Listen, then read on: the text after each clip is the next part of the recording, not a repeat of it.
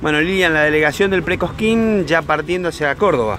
Sí, exactamente, ya estamos este, en los últimos momentos para, subir al colectivo y bueno, con todo el grupo de, que se ha formado acá en Plaza Wincul y Putralcó y Don Copué, eh, partimos a Cosquín. Bien, eh, ¿cuándo van a ser las actuaciones? ¿Qué días?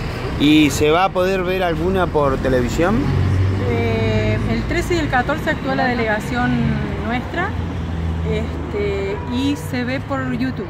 YouTube, ajá, para ver transmisión directo. ah, está bien. bueno, eh, contanos cómo va a estar integrada la delegación, quiénes son los chicos que están aquí. Bueno, la delegación va a estar integrada por...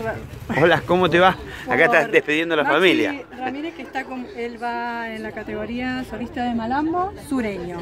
Surista de Malambo. Si querés conversar con Bien, Maxi, la provincia de Neuquén ha tenido importantes este, exponentes, sobre todo en Malambo, digamos. Eh, ¿Cuál es la expectativa para este Cosquín?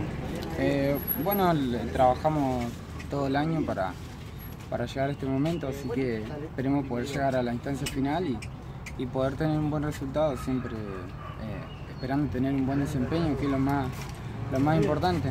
¿Hay algún número en particular que van a, presentar?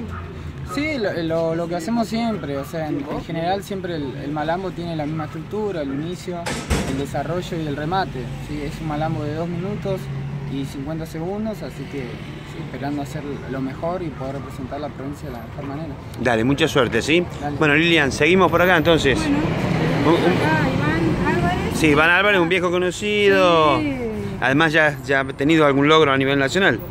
Eh, bueno, ¿y este año en qué vas? ¿En qué categoría vas? Nosotros este año vamos con, con mi pareja, con Pamela López, en pareja de baile estilizado. Bien. Eh, en otros años hemos participado también en otros rubros. Claro, estado en Malambo. En Malambo y en, el rubro ballet. Y por ahí los logros por ahí más destacados ha sido en el rubro ballet como mejor coreografía que sacamos en una de las veces que fuimos.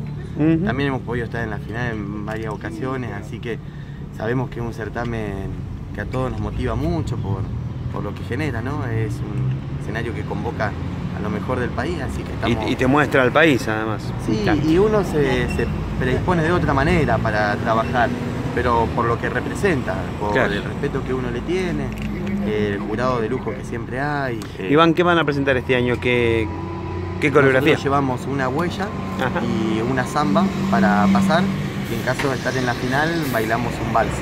Un vals. Un vals. Ajá, un vals. Este, Sí, en realidad es un vals eh, de una letra particular que es una representación, digamos. No, no es, es el vals dentro del repertorio folclórico es muy amplio. Sí, sí, muy amplio, por eso te preguntaba qué tipo de vals. Eh, está en función de, la letra, de lo que cuenta y la representación de la misma. Dale, muchísimas gracias y mucha suerte, ¿sí? Listo, gracias.